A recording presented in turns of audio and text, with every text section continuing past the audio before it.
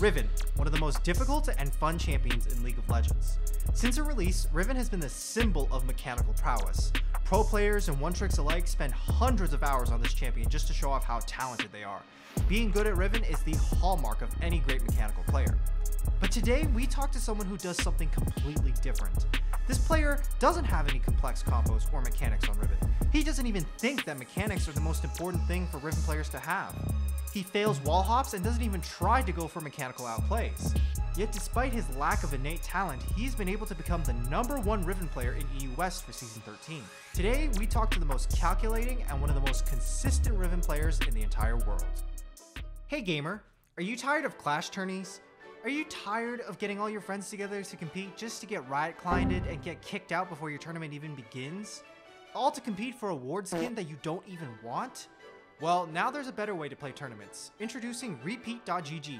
Repeat.gg is an esports tournament platform where gamers can earn cash prizes by playing their favorite video games by just playing regular ranked games. Instead of having to get the whole team together, you can log in, connect your league account, and it just takes stats from your games and uses those to put you on a leaderboard. You'll only be competing with players from the same role as you, so don't worry about how many pentakills you're getting as a support player. You can play as many games as you want, and Repeat.gg will score you based on your top 10 games. That way, you don't have to worry about how late you've joined a tournament. Players can join tournaments at any time, even on the very last day, and they'll be running with cash prizes that pay up to 40% of the users in their tournaments. You can download Repeat.gg today with my link in the description.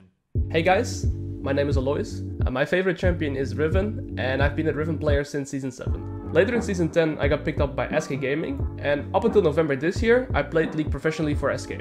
Since I started playing League professionally, I obviously could not stay a one trick. Since November 2022, however, I made the conscious decision to stop pursuing a professional career. I wanted to see how strong Riven would be for Season 13. I ended up peaking at rank 36 with a 71% win rate, and currently, I am the highest ranked Riven player in EUW, and my goal is to hit rank 1 and teach everybody how to play Riven. How you want to play Riven in the early game is very, um, is very aggressive. She is not that good when she's even or behind in the item curve in the game. So from the get-go, since Riven has a very strong level 1, you want to try and make use of that strength as early as you can. Even before the means wave have spawned, you can already try and cheese enemy jungle by hopping over the Baron pit or maybe late invading, so you can try and secure a lead from that uh, point forward. Now if this doesn't happen or you don't get the opportunity, you can try and cheese in one of the bushes and wait for your opponents to walk up to the wave to last it, and then you can get behind them and try and get the cheese off like that. And if the matchup doesn't allow you, let's say you're playing against a champion that is just stronger than you in level 1, you can just try and approach it uh, differently and play towards your level up timers. Every losing matchup, you can win by getting your level 2 first. And why I go longsword start on Riven is because I look for equal health rates in the early game. Very often, let's say I'm facing a Fiora, she has one potion and I have three. So let's say I trade 50% of my HP for 50% of her HP in the early game. I will actually benefit simply because I have three potions and she only has one. So I try to play the early game very aggressive and try to establish my leads in the first four races in the game. What I always tell everybody whenever I'm playing Riven is the first four waves in top lane are the most important because they will ultimately decide what the rest of your laning phase is very likely going to look like. If something goes wrong in those first four waves, your game doesn't feel that nice to play. However, if the first four waves go really well, your game feels very nice to play and you can really snowball off of that. So I really recommend to most Riven players to really study their first four waves. What I mean with studying the wave is learning how to when to do a second wave crash, a third wave crash, or fourth wave crash. Depending on the on your matchup and the jungle interaction in the early game, you can make a plan with your wave to set it up in a way that you can always still play aggressive or put your opponent in a hard spot. We're playing Riven with Flash Ignite, and if you're ever overextended, you do not have TP to get back, you don't have anything to get back, and they can even freeze onto you, and you're gonna be down a level, down in EXP, down in gold, your lane ends there. Because Riven plays to snowball, if you fall behind, it's over. You play top lane around the junglers.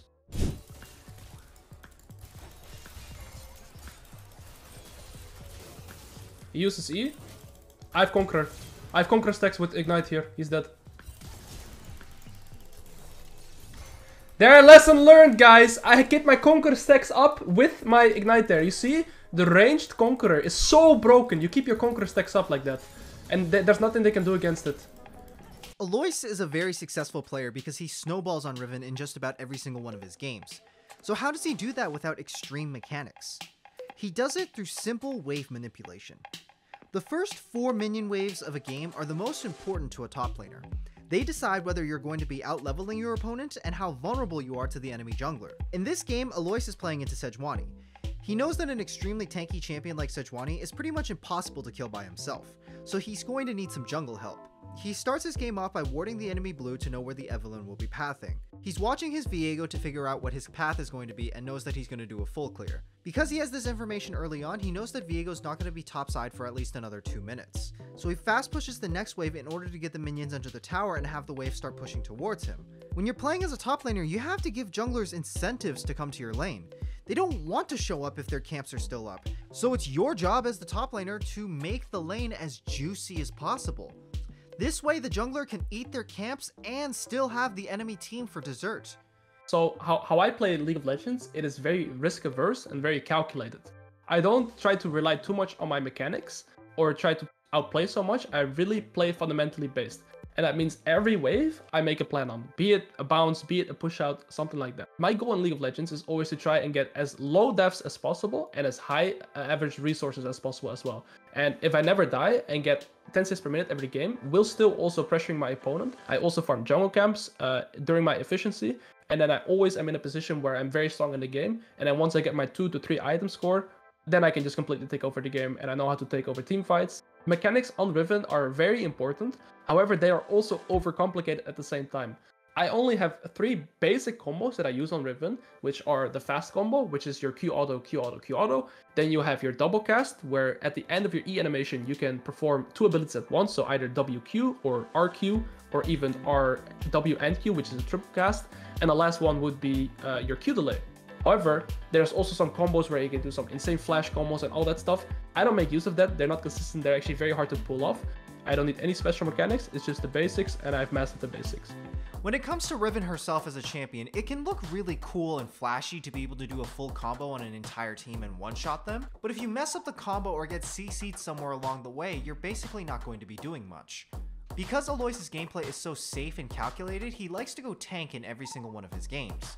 When it comes to his philosophy on Riven, he's not playing her like a combo champion looking to one-shot an entire team. What he's looking to do is play her like a reset champion. Riven's cooldowns to begin with are already pretty low if you just get a little bit of CDR. With Lucidity Boots, Goredrinker, and a Death Dance, you can have really low CDs on just about every single one of your abilities. Death Dance is an incredibly good item on Riven. Thanks to a combination of Goredrinker healing, Triumph healing, and E-shielding, as long as you're dealing damage and getting kills within teamfights, you should never be taking damage from this item whatsoever. While Death Dance and Goredrinker are definitely not as cool looking as a Prowler's Claw and a Ravenous Hydra, they are safer tools when it comes to gaining elo. People that play Riven overcomplicate her too much. They try and always use their abilities whenever they off cooldown because they feel pressure to make certain outplays or they feel like I can make an outplay here, I can make an outplay here. I just play very based on my fundamentals. I know my limits well, and then with the basic combos, I just know my damage output because I always play the same setup and the same items. And then I just know my all-in windows very well. And once I get to that point, I know I can just kill them like that through my basic combos. I don't need any special combos for that. For Riven in team fights, you can have multiple roles and it depends on the win condition. So uh, team fights on Riven is, is all about planning. 80% of the team fight is actually just planning. Let's say you have a very fat AD carry and enemy have like an Akali or a Zed. Riven can actually play with her W and with her Q3 to stop these assassins and you can peel for your AD carry. However, let's say you know that enemy AD carry does not have flash before the team fight and you do. Then you have a lot more options, right? That you could also play as a dive champion. The most important part of teamfighting on Riven is how you approach the teamfight, as in how you come into it. While Riven has a lot of mobility, a lot of that mobility is very telegraphed. She has 4 short dashes and it's rather slow to complete the animation on every single one of them.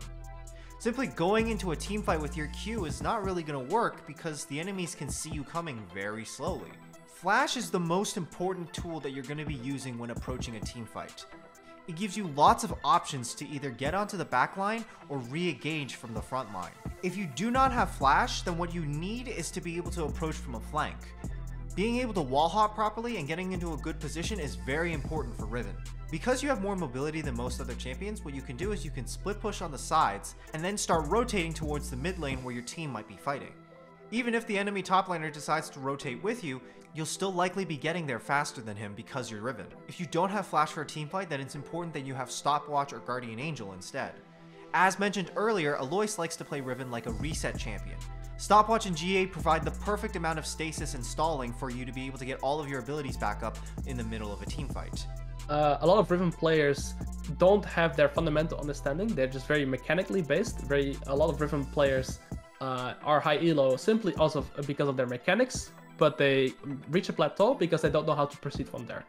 While Riven is known for being mechanically challenging and a very showy champion, Alois decides to approach this champion from a completely different angle. He can climb to Challenger with just about any other top laner, but he decides to use Riven instead because of her consistency and how broken she is when she gets a lead. He doesn't need to do fancy flash combos in order to climb. His knowledge and experience from being a pro player allows him to take one of the most mechanically difficult champions and use her to climb the ladder like he's filling out a spreadsheet. Just because a champion is designed to be mechanically flashy does not mean that you have to play her in a flashy way. I think Riven is a balanced champion, however, I know that a lot of people would disagree with me. I think that Riven one tricks make the champion shine more than she perhaps should.